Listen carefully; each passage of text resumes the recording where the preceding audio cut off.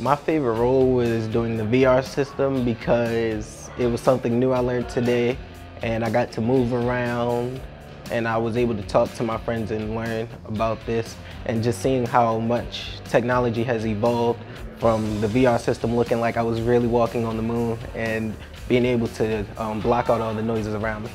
Lunar Avatar is a telerobotic exploration of the moon which uses VR headsets to navigate and explore the moon's surface. Researchers from the Johns Hopkins Applied Physics Lab and the STEM department provided the opportunity to NextOne Up, a local organization whose goal is to empower young men facing significant challenges. I was just surprised about how they're trying to send robots to the moon. Go back to your left, please. Lunar Avatar gives students an opportunity to experience the difficulty involved in communicating commands to a robot, waiting for the robot to perform the commands, and receiving confirmation. It was fun seeing how the people who had the VR headsets re um, responded to us, like the commands.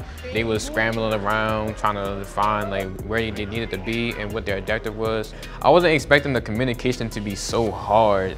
Each student had the opportunity to play multiple roles. They played the role of avatar or spot robot operator, communicator, and mission scientist.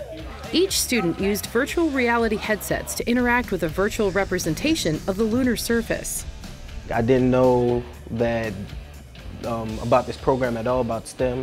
So this was my first time actually learning about it and how much it builds to the stuff that we use today.